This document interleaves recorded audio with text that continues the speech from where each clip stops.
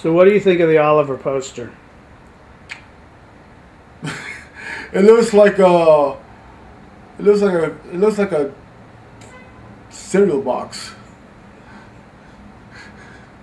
looks like a, like a Fruit Loop, honeycomb box. It's pretty cool. I, I like. I like it. I, I dig it. I think this time around, I could do Oliver. So, tell me about your new job. Well, this new job that I got, um, I will I will be working at a Studio City. I did beat a lot of people for that position, and um, yeah, I honestly I didn't think I was gonna get it. Um, when I walked in there, they seemed like the kind of place where you could just eat off the floor. Um, you know, a lot of good-looking people at that interview, a lot of high cheekbones, nice bodies, size zeros kind of people.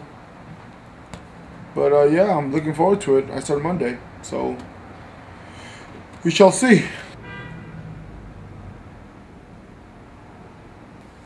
The Kansas City Bomber poster. The Bomber poster over the um, Raquel Welch. Yeah, that one. I don't, I, I don't like it. I don't know. It's just it's just too distracting. It's just I, I don't like the skates. Don't like the outfit. Just don't fucking like it. Oh, it's, it's like dirty. Uh, how many years did you live in New York?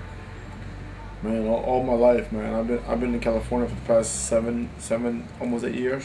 All my life. What made you move to California from New York? Well, at that time it was job related. Um, for JetBlue, I used to work for JetBlue, like I said earlier, and um, there was a gig to work out of Long Beach. I applied for it. I got it, but I never called California home. Um, I guess because I guess because I was not living a normal life. So And what what what do you mean by not living a normal life? Well, in California, to live in California, you need a car. You need something. Um, I just got a car. I Bought a car. I'm very grateful to the universe for blessing me with my little car.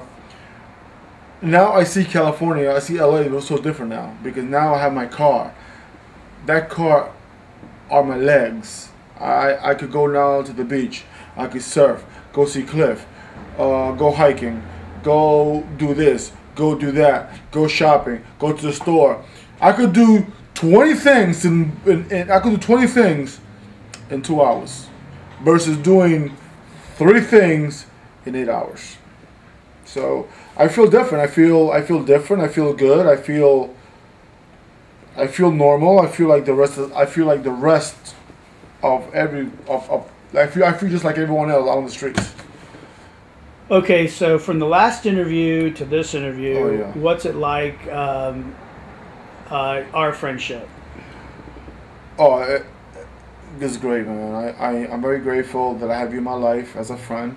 I'm very grateful that I could pick up a phone and give you a call on a Saturday afternoon and say, "Hey, Cliff, I'm coming over to Beverly Hills to chit chat." If you haven't, if you haven't guests over, I'll be more than glad to, you know, crash your party and and, and, and be there because I don't really have friends out here.